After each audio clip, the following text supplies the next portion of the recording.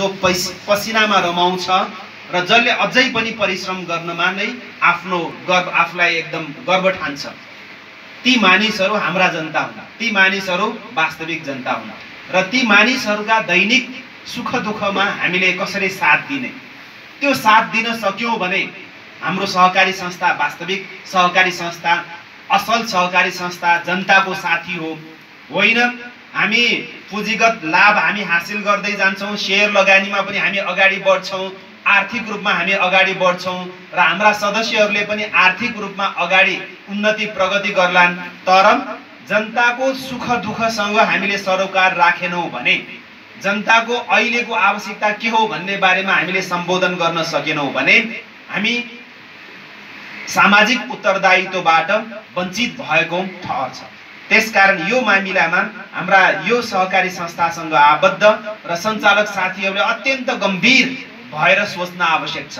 र त्यसमा सञ्चालक साथीहरूले मात्र होइन यसमा विभिन्न समिति उपसमितिमा रहेर काम गरिराख्नुभएका साथीहरूले समेत अलिकति फराकिलो सोचका साथ मात्र आय आर्जन बचत र ऋणसँग मात्र सम्बन्धित भएर होइन आर्थिक पक्षसँग मात्र सम्बन्धित भएर होइन अलिकति फराकिलो दायरा हामी लिन्छौँ र जनताको नजिक बसेर जनताको साथी जनताको मित्र र समस्याको साथी सङ्कट आइपर्दाको साथी र विभिन्न खालका चुनौतीहरू आइपर्दाको साथीको रूपमा उभ्याउनको लागि यो सहकारी संस्थाले सफलता प्राप्त गरोस् भन्ने शुभकामना म दिन चाहन्छु। र जनतालाई मारेर जनताको सुख दुःखमा साथ नदिकन हामी मात्र अगाडि बढ्नको कुनै त्यसमा औचित्य छैन। अर्थात् त्यो सफलता सफलता होइन। त्यसकारण यो मामिलामा आजको यो बसाइमा पनि हामीले कसरी जनतालाई सहयोग पुर्याउने जनताको समस्या पिर मर्कामा पीडामा हामी कसरी साथीको रूपमा परिणत हुने र त्यसमा केही ऐन यो नियमले मिल्दैन त्यो नियमले मिल्दैन भन्दा पनि त्यो मिल्ने ढङ्गको नियम कसरी बनाउने? त्यहाँनिर अलिकति व्यावहारिक ढङ्गमा कतिपय कुराहरू अलिकति बाधा व्यवधानका कुराहरू हुन्छन्। तर व्यावहारिक रूपमा कसरी चल्ने र कसरी सल्टाउने समस्याहरूलाई भन्ने बारेमा झगडाहरू विवादहरू बल्झाउने भन्दा पनि एकमाथि अर्को समस्याहरू समस्यामाथि समस्या थप्दै जाने भन्दा पनि जनताको जनताका समस्याहरू र जनताको सेवा गर्ने कार्यलाई कसरी त्यसलाई व्यावहारिक बनाउने र नजिक कसरी बन्ने त्योतर्फ अलिकति हामीले ध्यान दिन सक्यौँ भने हाम्रो सहकारी संस्थाको लोकप्रियता हामी जनप्रिय बन्न सक्छौँ। र यो सहकारी संस्था सञ्चालन गर्ने साथीहरू पनि जनताका साथी असल र भरपर्दो मित्रको रूपमा हामी परिणत हुन सक्छौँ। र त्यसकारण अब यो सहकारी सञ्चालन गरिराख्नु हुने सम्पूर्ण साथीहरू त अहिले म चिन्दिनँ र यो बसाइबाट यहाँ उपस्थित मध्येमा धेरैलाई अक्स अक्सरलाई म चिन्छु र अरू धेरै साथीहरूलाई पनि यो पोइन्टमा अर्थात् यो विषयमा कन्भिन्स गर्नुपर्ने अर्थात् साझा सहमति बनाउनु पर्ने अहिलेको आवश्यकता छ। मलाई थाहा छैन अरू बचत संस्थाहरूले के भन्छ। अरूले के भन्छ भन्दा पनि हामी के गर्छौँ? हाम्रो आवश्यकता के हो? चामुनारायण नगरपालिका क्षेत्रभित्र विशेष गरेर नगरकोट छालिङ झौखेल होला यो वरपरका हाम्रा वरपरका हाम्रा ठाउँहरू पहिलाका गाविसहरू ती ठाउँका साथीहरूलाई कसरी अगाडि बढाउने? र हामी मात्र आर्थिक रूपमा मात्र अगाडि बढ्नु मात्र त्यो त एउटा हात या एउटा खुट्टा मात्र हो। त्यो सर् सर्वाङ्गीन होइन। यहाँनिर अलिकति हामीले ध्यान पुर्याउन आवश्यक छ। हाम्रो सहकारी संस्थाले सामाजिक सेवा गर्नै पर्छ। सामाजिक उत्तरदायित्व वहन गर्नै पर्छ। त्यसरी सामाजिक उत्तरदायित्व वहन गरिराख्दा हामीलाई केही केही आर्थिक नोक्सानी हामीले बेहोर्नु पर्ला। हामीले लगानीमा केही केही हामीले घाटा बेहोर्नु पर्ला। तर वास्तवमा त्यो घाटा घाटा होइन। त्यो एक किसिमको हाम्रो निम्ति लाभ नै ठहर्छ। कालान्तरमा पुगेर अर्थात् पछि पुगेर। त्यसकारण योतर्फ समाजमा पछाडि परेको समुदायलाई अगाडि बढाउनुको निम्ति के कस्ता कामहरू गर्न आवश्यक छ भन्ने पहिचान गर्ने त्यो बमोजिम हामी अगाडि बढ्ने। त्यतातर्फ हामीले अलिकति त्यसलाई एक हिसाबले भनौँ फराकिलो सोच। अलिकति भनौँ त्यसलाई सङ्कुचन भन्दा पनि अगाडि बढ्ने। सङ्कुचित सोच नपालिकन अगाडि बढ्ने। र चाङ्गुनारायण नगरपालिकामा मलाई थाहा भएसम्म त्यहाँ विभिन्न जात जातिका हाम्रा साथीहरू हुनुहुन्छ। कोही तामाङ हुनुहुन्छ कोही छेत्री बाहुन हुनुहुन्छ कोही अझ दलित समुदाय। अब दलित नभनौँ होला अलिकति सामाजिक आर्थिक राजनीतिक चेतनाको स्तरको हिसाबले अलिकति पछाडि परेको समुदाय पनि त्यहाँ छ। त्यसै गरी नेवार समुदाय छ। र ती सम्पूर्ण समुदायहरू बिचमा हामी कसरी भिज्ने हामी कसरी अगाडि बढ्ने भन्ने बारेमा पनि यो सहकारी संस्थाले अलिकति प्रतिनिधित्वमूलक अर्थात् प्रतिनिधिमूलक ढङ्गमा हामीले काम गर्न आवश्यक छ। ठिकै छ जन्मले हामी नेवार भयौँ होला। ठिकै छ जन्मले हामी तामाङ भयौँ होला अथवा कुनै समुदायको भयौँ होला। तर त्यो समुदाय जात अथवा भाषा धर्म भन्दा पनि अझ माथि उठेर यो सहकारी संस्थाले काम गर्न आवश्यक छ। यहाँनिर पनि अघि मैले सुरुमै भने मजदुर वर्ग कामदार वर्ग अथवा किसानहरू मजदुर किसान शोषित पीडितहरूको सेवा कसरी गर्ने? त्यो तामाङभित्रको शोषित त्यो नेवारभित्रको शोषित त्यो बाहुनभित्रको शोषित सम्पूर्ण शोषितहरूलाई आर्थिक रूपमा सामाजिक रूपमा पछाडि परेकाहरूलाई कसरी एकजुट बनाउने? वैचारिक रूपमा सांस्कृतिक रूपमा र साथसाथै सैद्धान्तिक रूपमा। कसरी तिनीहरूलाई सङ्गठित बनाउने? र सङ्गठित बनाउँदै तिनीहरूलाई आर्थिक रूपमा पनि सबल बनाउने र शैक्षिक रूपमा पनि सबल बनाउने। हरेक हिसाबले सबल बनाउने। त्यतातर्फ अलिकति सोच विचारका साथ सुझबुझका साथ हामीले काम गर्न आवश्यक छ। त्यसको निम्ति जरुर छलफल विभिन्न किसिमका बहलहरू बहसहरू आवश्यक हुन्छ। बहस गर्न तयार हौँ। हामीले जति यसरी कोठाभित्र बहस गर्ने तर बाहिर प्रस्तुत हुँदा एकदम एक ठिक्का भएर हामी प्रस्तुत हुने। हाम्रा विमतिका कुराहरू असहमतिका कुराहरू विवाद र बहसका कुराहरूलाई हामीले गाउँ ठाउँसम्म पुर्याउने छताछुल्लो पार्ने पोख्ने काम त्यो चाहिँ त्यो गर्न हुँदैन। हाम्रो संस्थाभित्रका केही दुई मत कहिलेकाहीँ हामी हुन सक्छौँ। कहिलेकाहीँ विमति हामी हुन व्यक्त गर्न सक्छौँ। तर बाहिर प्रस्तुत हुँदा हामीले एकजुट भएर साझा उद्देश्य हासिल गर्नको निम्ति हामी एकजुट भएर एक मनका साथ हामी अगाडि बढ्न सकेको खण्डमा हामी छोटो समयमा अलिक छिटो प्रगति गर्न सक्छौँ। हाम्रो चासो के हो भने धेरै लामो समय छैन। बाह्र वर्ष भनेको एक हिसाबले त फड्को मार्ने समय हो। बाह्र वर्षमा खोलो फर्कन्छ भनेर हामीले जुन सुनिरहेका छौँ बाह्र वर्षमा त हामीले समाजमा केही हामी यहाँसम्म पुग्यौँ भनेर एउटा कोसे ढुङ्गाको रूपमा हामीले देखाइसक्नु पर्ने समय हो। त्यसकारण ढिलो सुस्त ढङ्गमा भएको प्रगतिलाई प्रगति मान्न सकिन्न। अलि हामीले अहिले केमा विश्वास? अहिलेको युग भनेको के हो भने जसरी अहिले यो साइन्स र टेक्नोलोजी विज्ञान र प्रविधिको युग हो त्यसै गरी अहिले हामी हरेक काम कुरा छिटो छरितो र समयमा त्यो हामीले गर्न सक्यौँ भने त्यस्तो समितिले त्यस्तो टिमले त्यस्तो सहकारी संस्थाले अरू धेरैलाई उछिन्न सक्छ। हामीले एकदम सुस्ततामै हामी रमायौँ भने एकदमै एक हिसाबले भनौँ ढिलो जानुमै हामीले आफ्नो पहिचानको रूपमा हामीले लियौँ भने त्यहाँनिर प्रगति अलिकति टाढा टाढा प्रगति अलिकति झन्झन दूर हुँदै जान्छ। यहाँनिर पनि यो सहकारी संस्थाले अलिकति छिटो अलिकति द्रुत सम्भव छ भने अलिक द्रुत गतिमै अगाडि बढ्ने। र अब यो तिन वर्षको यहाँ कुराकानी हुनेछ। तिन वर्ष मात्र होइन पाँच दस वर्षभित्रमा हामी यहाँसम्म पुग्छौँ भन्ने एउटा गोल हामीसँग हुन आवश्यक छ। गन्तव्य यहाँसम्म हो। त्योतर्फ पनि हामीले ध्यान दिन आवश्यक छ। उमेरले यहाँ त त्यति मलाई जहाँसम्म लाग्छ साठी वर्ष माथिका कोही हुनुहुन्न होला। सम्भवतः है? भनेपछि यो तिस चालिस पचास वर्षकाहरूको उमेर भनेको त समाजले अपेक्षा गर्ने उमेर हो। केही गरी खानु पर्यो है? हाम्रो यो छालिङलाई नगरकोट झौखेललाई भनौँ चाङ्गुनारायण नगरपालिकामा अगाडि बढेको संस्थाको रूपमा अगाडि बढेको समुदायको रूपमा यो सहकारी संस्था मात्र पूर्ण हुन्छ भन्ने छैन। यति कुरा हामीले मनमा राखौँ। यो सहकारी संस्था त हाम्रो समाजको एउटा अङ्ग मात्र हो। एउटा औँला मात्र हो भनौँ न। हामीसँग स्कुल छ त्यहाँ हामीसँग अरू संस्थाहरू छन् हामीसँग सङ्गठन छ। समग्रमा ती सम्पूर्णलाई परिचालित गर्दै एकले अर्कोलाई ढाडस दिँदै हामीले पूर्णतातिर अगाडि बढ्न आवश्यक छ। त्यसो गर्न सक्यो भने अब मनमा के नराखौँ भने यो सहकारी संस्था एउटा अगाडि बढेपछि सम्पूर्ण ठिकठाक हुन्छ। त्यसरी मनमा नराखौँ। त्यहाँ जे जति हाम्रा अन्य अङ्ग प्रत्यङ्गहरू छन् त्यो स्कुल होला त्यो विभिन्न अरू संस्थाहरू होलान् हाम्रा राजनीतिक विभिन्न समितिहरू होलान् ती सम्पूर्णलाई एकले अर्कोलाई कसरी टेवा पुर्याउँदै जाने त्योतर्फ पनि हामीले त्यतिकै ध्यान दिन आवश्यक छ। त्यसकारण अलिकति त्यसको निम्ति सहकारीको अहिलेको अर्को मिनिङ अर्को अर्थ के हुनु पर्थ्यो भने सक्रियता सामाजिक सक्रियता राजनीतिक सक्रियता र संस्थागत सक्रियता। सक्रियता बिना त्यसमा अर्थात् हामी सबैले अलिकति निस्वार्थी भावका साथ समाजमा हामीले सक्रिय भएर देखायौँ भने सहकारीको अर्थ त्यसमा खुल्छ। सहकार्य गर्दै सामूहिक हित चिताउँदै सामूहिक स्वार्थमा ध्यान दिँदै व्यक्तिगत स्वार्थलाई त्याग्दै त्याग्दै भन्ने अर्थ लाग्छ सहकारीको अर्थ। र त्यो दौरानमै सहकारी अगाडि बढेको पनि हो। र त्यसकारण एक एकजना र केही दुई चारजना। तिनीहरू मात्र आर्थिक रूपमा सबल हुँदैमा शैक्षिक रूपमा राम्रो अगाडि बढेको हुँदैमा त्यो समाज सिङ्गो ढङ्गमा अगाडि बढ्न सक्दैन। त्यसकारण सक्नेले अर्कोलाई पनि टेवा पुर्याउनु पर्छ हात दिनुपर्छ अथवा सँगसँगै हिँडाउनु पर्छ भन्ने अर्थ सहकारीको हो। त्यसकारण हामी अब केवल आफू एक्लै जाने अर्थात् हाम्रो मात्र सहकारी संस्था मात्र अलग अलग ढङ्गमा अगाडि बढाउने त्यो सोच्यौँ भने पनि मिल्दैन।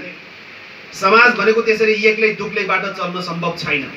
जसरी एकजना मात्र नायक हिरो हुँदैमा त्यो सम समुदाय या त्यो समाज अगाडि बढ्दैन। त्यसमा अरू धेरै सदस्यहरूको पनि आवश्यकता हुन्छ र तिनीहरूले पनि त्यत्तिकै मनैदेखि सहयोग पुर्याएको हुन्छ। आवश्यक पुर्याउन आवश्यक छ। र यहाँनिर पनि आज सम्पूर्ण साथीहरूमा मेरो अनुरोध के हो भने विशेष अनुरोध। सामूहिक स्वार्थको निम्ति हामी अगाडि बढौँ। समुदायको हितलाई चिताउँ हितलाई नै प्राथमिकतामा राखौँ र त्यसरी गरिराख्दा सामाजिक कार्य गर्दा कहिलेकाहीँ त्यसमा समाजका विभिन्न खालका कुराहरूबाट हामीले सुन्नुपर्ने होला। त्यस्ता कुराहरूमा विचलित विचलित नभइकन हामी अगाडि बढ्न सक्यौँ भने जसरी हाम्रो यो छालिन क्षेत्रले नगरकोट क्षेत्रले झौखेल विशेष गरेर ती ठाउँहरूले जसरी परिवर्तन हिजोका दिनमा भन्दा जसरी चेतनाको हिसाबमा राजनीतिक चेतनाको हिसाबमा जसरी त्यहाँ परिवर्तन भएको हो त्यसलाई अझ अगाडि बढाउन आवश्यक छ। मलाई जहाँसम्म लाग्छ हामी यहाँसम्म आइपुग्नुको पछाडि तपाईँ हरेक हिसाबले आर्थिक रूपमा शैक्षिक रूपमा तपाईँ अगाडि बढिसक्नु भएको छ। त्यसको एउटा कारण खास कारण के हो भने हाम्रो राजनीतिक विचार हाम्रो राजनीतिक सिद्धान्त र हाम्रो पार्टी हाम्रो सङ्गठन हो। र यदि मलाई जहाँसम्म लाग्छ छालिङ क्षेत्रमा चौखेल क्षेत्रमा यो नगरकोट क्षेत्रमा हाम्रो राजनीतिक विचार नपुगेको भए हाम्रो राजनीतिक सङ्गठन अगाडि नबढेको भए हामी अझै पनि हरेक हिसाबले हामी पछाडि पर्ने थियौँ। हामी अझै पनि दबिएको स्थितिमा हुने थियौँ हरेक हिसाबले। शैक्षिक रूपमा पनि हामी अगाडि बढिसकेका हुने थिएनौँ। त्यसकारण यो कुरालाई पनि हामीले मनमा राख्न आवश्यक छ। र त्यसमा अन्तिम निष्कर्षमा हामी के पुग्छौँ भने हाम्रा यस्ता संस्थाहरू चाहिन्छन्। ती संस्थाहरू भन्दा पनि अझ माथि हामीसँग राजनीतिक सोच आवश्यक छ। राजनीतिक विचार आवश्यक छ राजनीतिक सङ्गठन आवश्यक छ हाम्रो पार्टी आवश्यक छ। त्यो निष्कर्षमा हामी पुग्न सक्यौँ र त्यो स्वीकार्न सक्यौँ हामी सही ठाउँमा पुग्न सक्छौँ। त्यो नस्वीकारिकन अरू सम्पूर्ण ठिक यो कुरा एउटामा चाहिँ मेरो सहमति छैन यदि तपाईँ भन्नुहुन्छ भने अझै तपाईँमा ठुलो अलमल छ तपाईँमा अझ ठुलो भ्रम छ भन्ने त्यसमा पुष्टि हामी गर्न सक्छौँ। त्यसकारण यहाँहरूसँग मेरो विशेष अनुरोध के छ भने घुमाइ फिराई हाम्रो समाजको हित गर्नको निम्ति राजनीतिक विचार राजनीतिक सिद्धान्त राजनीतिक सङ्गठन आवश्यक छ। र त्यो अगाडि बढ्यो हामी द्रुत गतिमा अघि भनिए झैँ द्रुत गतिमा अझ छिटो छरितो ढङ्गमा अगाडि बढ्न सक्छौँ। नत्र भने हामी पुग्नुपर्ने एक ठाउँमा हामी अन्त अन्त गइराखेका हुन्छौँ। पुग्नुपर्ने पनौतीमा पुग्नुपर्ने यहाँ अघि हामी त्यहाँ खोपासीतिर गइराखेको जस्तै। अघि हामी त्यता मल्पीतिर गइराखे जस्तै। हेर्नुहोस् त पुग्नुपर्ने छोटो यही नै हो। स्थान तपाईँहरूले दिनुभएको यहाँ थियो। तर हामी झन्डै झन्डै मल्पी पुग्न बाँकी झन्डै झन्डै खोपासीमा पुग्यौँ। भनेपछि त्यो के हो भने गन्तव्य यो हो भन्ने कुरा ठ्याक्कै भन्न नसक्दा त्यसो हुने सम्भावना हुन्छ। त्यसको निम्ति हामीलाई सधैँ सधैँ शिक्षित बनाइराख्ने कसले हो भने राजनीतिक सङ्गठनले हो हाम्रो पार्टीले हो। अरूले गर्न सक्दैन। शोषित पीडितहरूको यदि सेवा अरूबाट सम्भव भएको भए हाम्रो राजनीतिक दल आवश्यक नै हुने थिएन। अरूले त्यो गरी खाएनन्। हिजोका पञ्चेहरूले गरेनन्। तिस वर्षसम्म तिनीहरूले लुट्नु लुटे। पञ्चायती व्यवस्था दुई हजार सत्र सालदेखि छयालिस सालसम्म तिस वर्षसम्म शासन व्यवस्था तिनीहरूले सञ्चालन गरे तर तिनीहरूले देशमा बहुसङ्ख्यक जनताको हित हुने खालका काम तिनीहरूले गर्न सकेनन्। उल्टा यो देशलाई आर्थिक रूपमा अझ तहस नहस बनाउने आर्थिक रूपमा हरेक हिसाबले चेतनाको हिसाबले पनि सामाजिक रूपमा पनि यो देशलाई हाम्रो समाजलाई अझ पछाडि पार्ने काम त्यो व्यवस्थाले गर्यो त्यसकारण त्यो पञ्चायती व्यवस्था विरुद्ध हामीले लड्यौँ सङ्घर्ष गऱ्यौँ तिस वर्षसम्म पञ्चायती व्यवस्थासँग केही नलिकन तिनीहरूको केही नखाइकन जनताको निम्ति कसैले सेवा गरेको थियो भने हाम्रो पार्टी नेपाल मजदुर किसान पार्टीले थियो। र त्यो गर्विलो इतिहास हामीसँग छ।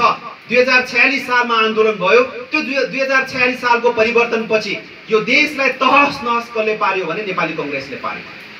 छयालिस सालदेखि भनौँ यता यो सत्तरी बहत्तरसम्म नै शासन व्यवस्थामा कहिल्यै पनि नेपाली कङ्ग्रेस खाली भएन। र सहकारीको कुरा गरिरहँदा हामीले मनमा के लिन आवश्यक छ भने हामी आर्थिक प्रगतिका उन्नति प्रगतिका कुरा गर्छौँ तर यो देशले आर्थिक रूपमा बर्बाद कसले पार्यो केले गर्दा भयो भन्ने कुरा हामीले चिन्न बुझ्न सकेनौँ भने फेरि हामी ठिक ठाउँमा पुग्न सक्दैनौँ। सहकारी सहकारी भनेर मात्र देश समाज आर्थिक रूपमा अगाडि बढ्ने होइन। देशको अर्थतन्त्र नै राम्रो हुनुपर्छ। देशको अर्थतन्त्र तहस नहस कसले बनायो पञ्चायती व्यवस्था पश्चात नेपाली कङ्ग्रेसले बनायो। नेपाली कङ्ग्रेस भन्नाले नेपाली कङ्ग्रेसको सरकार। त्यो सरकारमा कसको समेत हिस्सेदारी थियो भने एमाले राप्रपा मधेसवादीहरू र साथसाथै अहिलेको यो माओवादी बनाउँदो। र यिनीहरूको हिस्सेदारी थियो।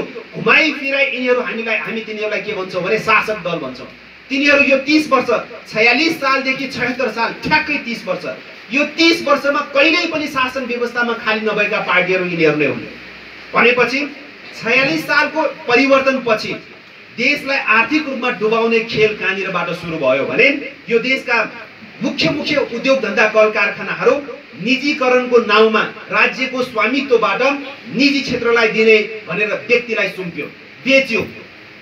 तपाईँलाई थाहा छ भ्रिकुटी कागज कारखाना। भ्रिकुटी कागज कारखाना एसियाको सबभन्दा राम्रो कागज कारखाना एसियामा भारतसँग थिएन। भ्रिकुटी कागज कारखाना जति क्वालिटी पेपर उत्पादन गर्ने पेपर अथवा त्यो कारखाना इन्डियासँग पनि थिएन तर हामीसँग थियो। चिनले बनाइदिएको भ्रिकुटी कागज कारखाना गैराकोटको।